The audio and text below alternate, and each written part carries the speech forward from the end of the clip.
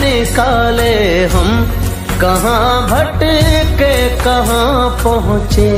मगर भटके तो याद आया, भटकना भी ज़रूरी था।